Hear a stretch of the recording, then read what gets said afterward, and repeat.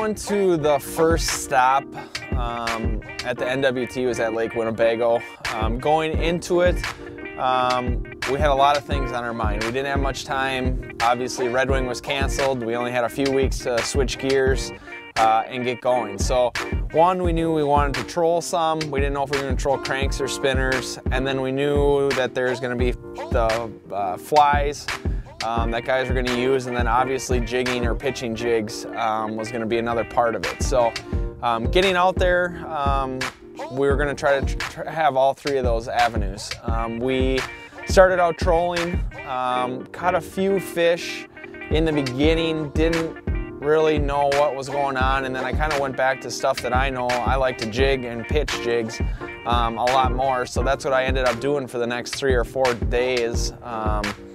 Was pitching jigs. I would find these rock humps and I would go right over the top of them and I would catch fish.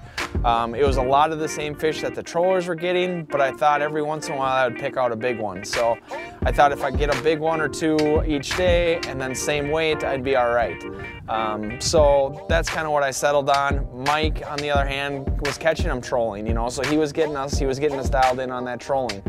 Um, so that was good. You know, we were just constantly trying different things to see what we had to do to get it done.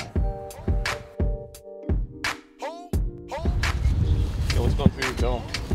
All right, guys, it's uh, day one of the National Walleye Tour, first stop of the year, so you're always nervous. You're just trying to hopefully make the right decisions to get off to a good start to the year, you know. Um, there's a lot of things going different in this system, so we'll see what shakes down, but uh, we'll be a little trolling, little pitching jigs, little slip bobber, and we'll see what ends up catching them for us. But you're always nervous. You never know what's going to happen out there. You get that empty feeling in your stomach. It's the best thing ever. So day one, going in, um, was really nervous. Obviously, it's the first event. You want to do well. You want to get it off to a good start for the year. Um, I ended up trolling uh, first. And I can't really believe that I did that, but I did. I made one pass, maybe one and a half passes, and I gave up on it. And I went back to what I knew. I knew that pitching thing was gonna happen. Um, first day, we probably caught, you know, I don't know, 15 fish or so. Um, I wasn't getting real big numbers, but that helped me, and I didn't have to worry about culling as much. Obviously, we couldn't cull, it, it, was just easier so that I could select the right fish. Um, I had my target weight, that we were gonna weigh those fish and if it hit it, we would keep it. Um, so I knew if I didn't go through huge numbers, I wouldn't really be worried about that as much. So um, that helped me on day one. I ended up getting a big fish. It was a 24, 25 incher. Uh, gave me a good start. I had like 13, 7, 5 for the first day, um, sitting in 31st place. It was obviously super tight um, between first place and 100th place was so tight. It was unreal. All right, guys, all we're doing basically is just crashing these humps. We're driving right over the top of them, trying to get these fish to get aggressive. It's a little slower today. Um, hopefully we can keep grinding them out. We got three in the boat right now. It's about, I don't know, 10.30, 10 o'clock, so we got plenty of time. Uh, hopefully we can figure it out and go from there. We'll see you guys later. This is Drake Herd, along with John Grant Jr. from Bemidji, Minnesota, his co-angler. Looks like these guys found themselves a limit of fish as well. I think there was a pile of fish caught on the Winnebago system today. That's what it's looking like to me. And that looks like a pile of fish there. John, was it a good day? Yeah, it was a great day out there.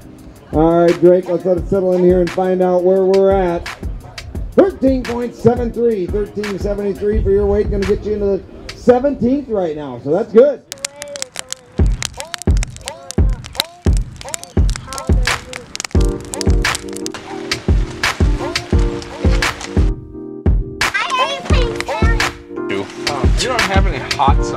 Yeah, we do.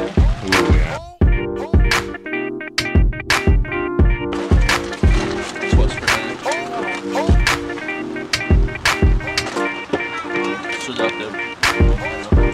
Um, I wish we would have done a little more footage at where we were staying. We were staying at uh, Mr. Bluegill, Troy Peterson's house.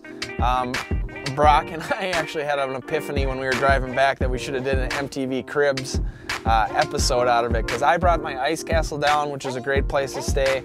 Me, my dad, uh, Jack, and Brock um, all stayed there. And then Troy had a camper set up behind his house where Robert, Brett, Aaron, and Mike all stayed. So it worked out super well. We had a great time. Troy, you guys, if you ever get out there to fish with him, great guy, knows it, knows his stuff. Um, and then, you know, the food and everything was great. We got to go to uh, um, one night, and then we cooked a lot. We grilled out fish, we grilled steaks, we grilled just about anything, brats, whatever else you could think of. Um, so it was a great time while we were there.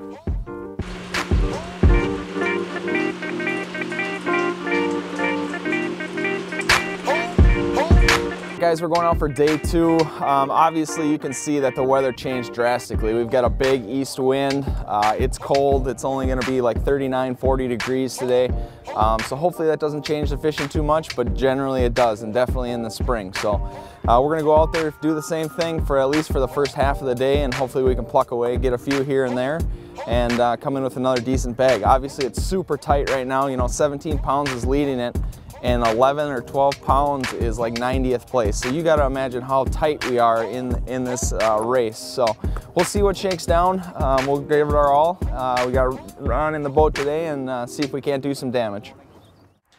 Then going into day two, huge weather change. Um, we knew that that was going to affect the bite drastically. Um, wind was out of the west the first day. We got a huge east wind. Uh, temp dropped 30 degrees and I knew it was going to be a tough bite. Um, water got dirty. I mean, it was nasty. It was raining out there. It was nasty. I haven't fished in that bad weather too often. Um, but we had to get it done. So um, first spot I pulled up on, nice reef, got a fish, um, and then we proceeded to have a little lull. Um, and then we would pick up another fish. We'd try four or five reefs and then we'd pick up another one. The second day, we only ended up catching six fish. For like 1188 or something like that. It was enough to get it done. We didn't get our big kicker fish that uh, that we needed to really jump up there, um, but I was happy. We ended up in tw uh, 26th place, cashing a check, my first check at the NWT at the pro level. Um, so I was super excited about that. Obviously, um, it, it, gives you a big boost of confidence that you know what you're doing, uh, hopefully going into these next events now.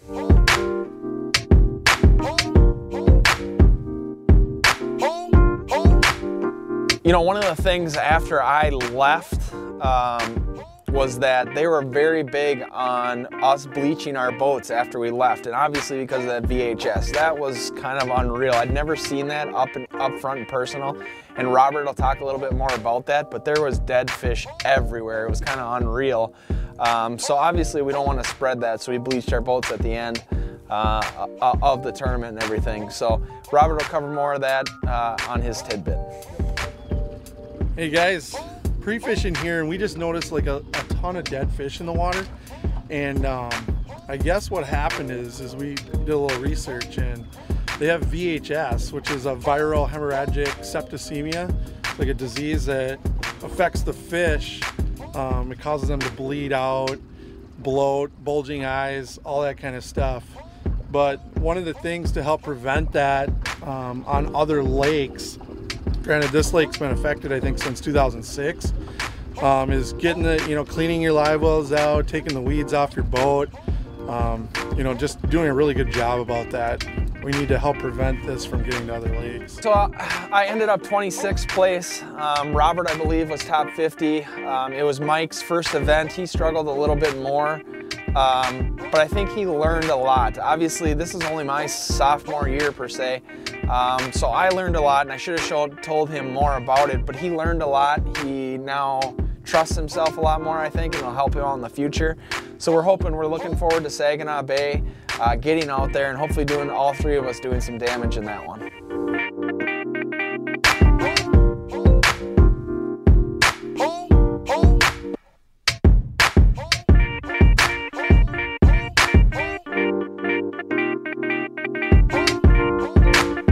Guys, I hope you loved our video. Um, subscribe to the YouTube channel, like the YouTube video. Um, otherwise, you can check us out on Facebook, Instagram, and Twitter for exclusive content um, so that you guys can check it out and follow us all year on tour. Next stop will be Saginaw Bay. We'll see you there.